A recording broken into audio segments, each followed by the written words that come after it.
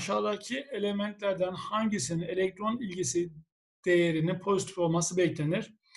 Elementler elektron aldığında, ametaller elektron aldığında dışarıya ısı enerjisi verir ve dolayısıyla da e, enerji birimi negatif olur.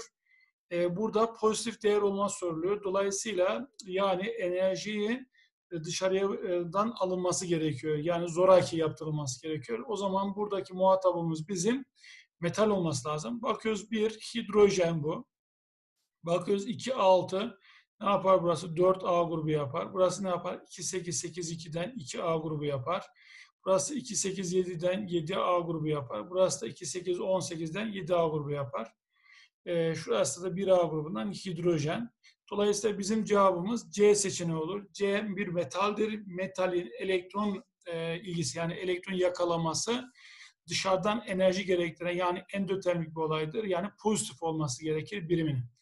Doğru cevabımız C seçeneği. Periyodik cetvelin herhangi bir periyodundan alınan yukarıdaki kesitte ok yönünde ilerlerken niceliklerinden kaç tanesi artış gösterir? Ana grup elementleri yani A grup elementleri olduğunu söylüyor. Soldan sağa doğru gidildikçe değerlik elektron sayısı artar. Elektronegatiflik ne yapar? 7A grubuna doğru artar. Elektron ilgisi artar. Atom yarıçapı ne yapar? Azalır. Elektrik iletkenliği ametallere doğru gidince elektrik iletkenliği azalır. Burada o zaman 1, 2, 3 tane özellikle artış olur. Doğru cevabımız C seçeneği. Aynı periyottaki KLM elementlerinin elektron ilgileri büyükten küçüğe doğru L büyüktür, K büyüktür, M şeklinde sıralanıyor. Buna göre aynı elementlerin atom yarıçapları büyükten küçüğe sıralanması nasıl diyor?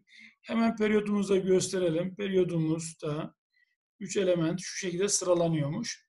L elementinin elektron ilgisi en büyük olduğu için en sağda, sonra K, sonra M. E, atom yarıçapı aynı periyotta ne yapardı? Soldan sağa doğru küçülüyor. O zaman burada çapı en büyük olan M, sonra K, sonra L olur. Doğru cevabımız A seçeneği. 7A grubunda atom yarıçapının arttığı yönde 7A grubunu şöyle gösterecek olursak atom yarıçapı nasıl artar? Yukarıdan aşağıya doğru artardı. Yani bize yukarıdan aşağıya doğru özellikle söylüyor. Diyor ki elektronegatiflik, elektronegatiflik aşağı doğru azalırdı. Değerlik elektron sayısı değişmezdi. İyonlaşma enerjisi ne yapar? Yukarı doğru artar, aşağı doğru çapla beraber azalır. Azalması beklenir dediği için doğru cevabımız 1 ve 3 E seçeneği doğru olur. Yukarıdaki tepkime denklemlerinden hangileri elektron ilgisini ifade etmektedir? Elektron ilgisi e, bir e, gaz fazındaki taneciğin elektron yakaladığında meydana gelen enerji değişimiydi. Bu negatif de olabilir, pozitif de olabilir. Dolayısıyla bakıyoruz X atomu bir elektron yakaladığı zaman anyonuna dönüşürken ne yapmış? 340 kilojoule'lik bir enerji açığa çıkmış. Bu nedir? Elektron ilgisini gösterir. Y atomu elektron yakalaması istemsiz bir olay. Yani e, endotermik bir olay ama elektronu zoraki de olsa yakalamış. Çünkü enerji değişimi dediğimiz için tanımlan. Bu da doğrudur. Z'ye bakıyoruz. Enerji verilmiş. Bir tane elektron kopartılmış. Burada iyonlaşma enerjisi tarif edilmiş. O zaman bu yanlış olur. Doğru cevabımız 1 ve 2 D seçeneği olur.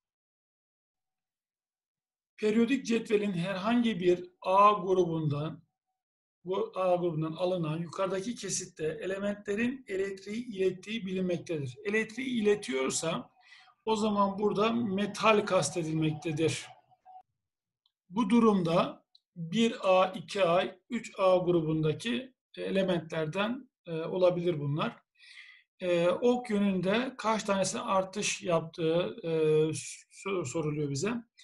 E, biz biliyoruz ki yukarıdan aşağı doğru indikçe çap artacağından elektron verme kolaylaşır. Metalik özellik artar. Çap artar. Çapla iyonlaşması ters orantılı olduğu için azalır. Elektron ilgisi aşağı doğru azalır. Elektronegatiflik azalır. Element oksidin bazik özelliği ne yapardı? Çap arttıkça metal oksidinin bazik özelliği artardı. O halde 3 tane nicelik ne yapar? Artış gösterir. B seçeneği doğru olur. Periyodik tablonun aynı grubunda bulunan X, Y ve Z elementleriyle ilgili aşağıdaki bilgiler verilmiştir. Buna göre elementlerin aynı grupta dizilimi aşağıdakilerden hangisi olabilir? 3 tane element aynı grupta dizileceğimize göre o zaman şöyle göstermiş olalım.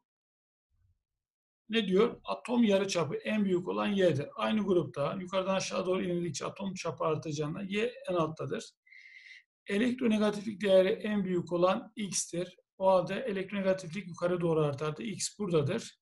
E, Z de o zaman aradadır. Yani sıralamamız X, Z, Y şeklindedir. Yani E seçeneğimiz doğru olur.